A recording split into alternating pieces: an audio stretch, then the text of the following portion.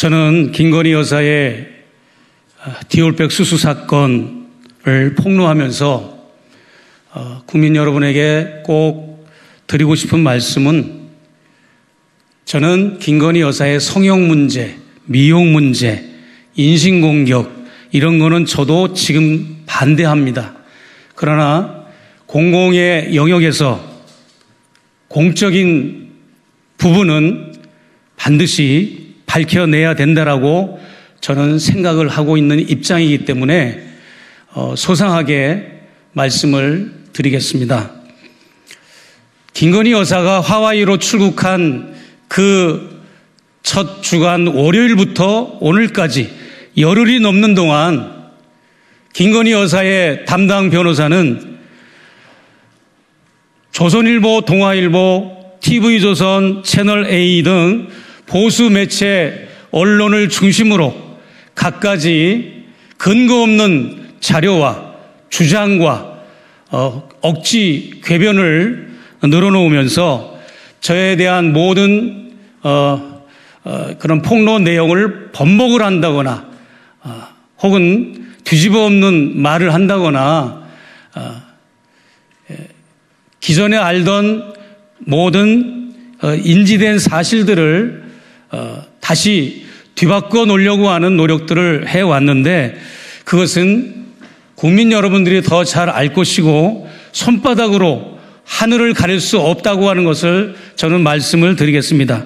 하도 많은 기사들을 쏟아내고 하도 많은 반박들을 해왔으나 대응할 가치조차도 없습니다. 그러나 요 한 가지만 꼭 짚고 넘어가겠습니다.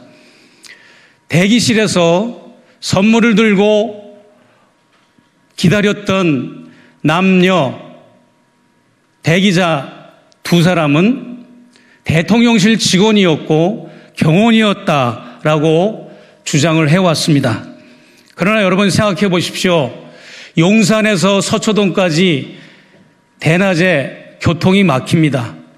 그 용산에서 대통령 청, 용산 대통령 청사에서 서초동까지 무턱대고 오지는 않았을 터인데 그러면 보고를 드리러 온다고 하는 그 행정관이 반드시 여사의 측근 비서에게 시간을 조율했을 겁니다.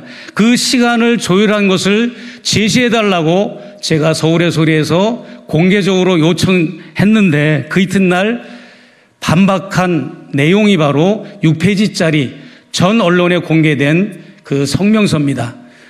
그러나 여러분 그것을 보시면 어, 누구라도 이것이 거짓임을 어, 직시할 수가 있습니다. 첫째, 문서를 작성한 그 폴도 문서 작성한 걸 근거로 사진을 제시했는데 그것은 전혀 제가 도착한 시간, 제가 접견한 시간과 비교해 볼 때 용산에서 비행기 타고 날라오지 않는 이상 그 시간이 일치하지를 않고요. 두 번째로 대통령실의 보고서는 일급 문서 혹은 특급 문서입니다.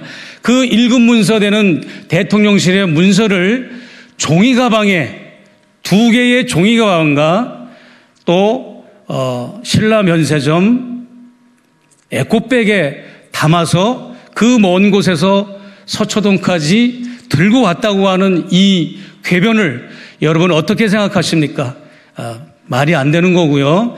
그 말이 맞다고 하면 반드시 그 행정관은 어, 국가 기밀 누설죄로 처벌을 받아야 될 뿐더러 김건희 여사는 국정농단에 준하는 갖가지 죄목이 붙을 것입니다.